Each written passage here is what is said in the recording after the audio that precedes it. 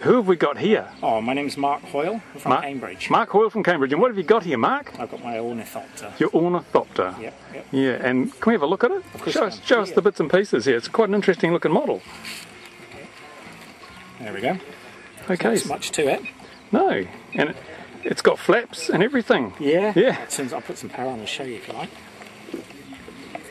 Pretty simple. Okay. All right. Usual motor controller here. That just controls the motor for the for the uh, flappings. Ah, okay, so what's wrong here now? Oh, I know what it is. There we go.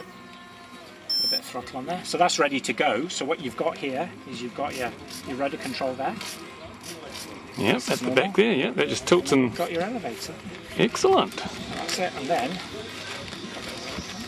well, that just makes it and down It's just like that. some cams and gears and things, and And then that's about quarter speed.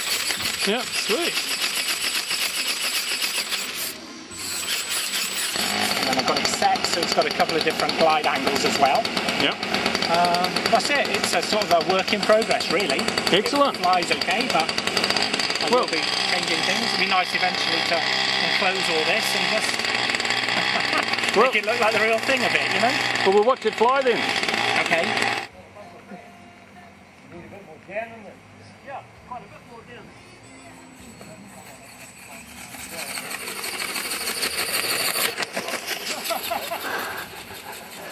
Very much like an aggressive hawk.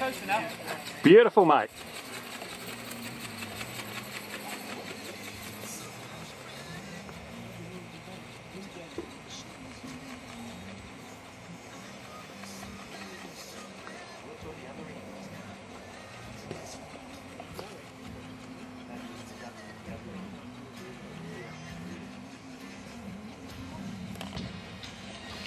And here we have a couple of swallows. We have, all the birds are starting to gang up on this thing now. They see it as an aggressive.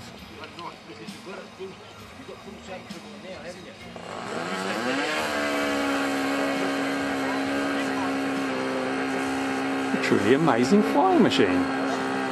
Something that shouldn't fly.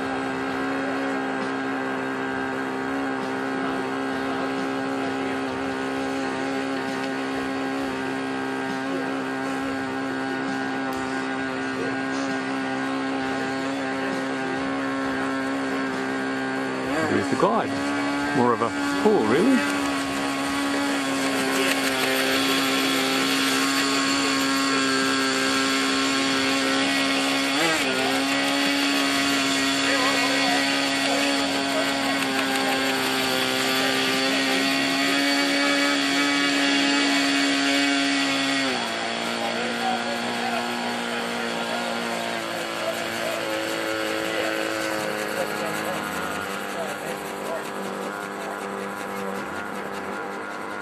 More birds ch- chasing it around. Look at that.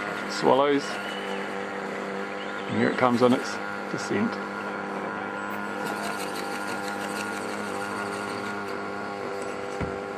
Beautiful. There is the Ornithopter, an amazing machine. And how much did it cost you to build this? Uh, around about five, six hundred dollars. That's New Zealand dollars, which is Yeah, New Zealand. Yeah, yeah. which is um, nearly five or six hundred American because the American dollar's taken a big dive. Well, yeah, no, I mean, I well, I've had it a few months now, so you know, once I started buying the parts, I suppose I think you're sort of talking four hundred. Yeah, US. so that's like about ten dollars Australian now, isn't it? Yeah, yeah, Yeah, that's true. yeah. Yep. So, like I say, but I mean, a lot of the stuff obviously came from here. It was just some of the bits I had to get from the states, and Yeah, and just a regular four-channel radio. uh huh. Well, this, this is a six, but you only need Yeah, four. yeah. Really, that's the thing.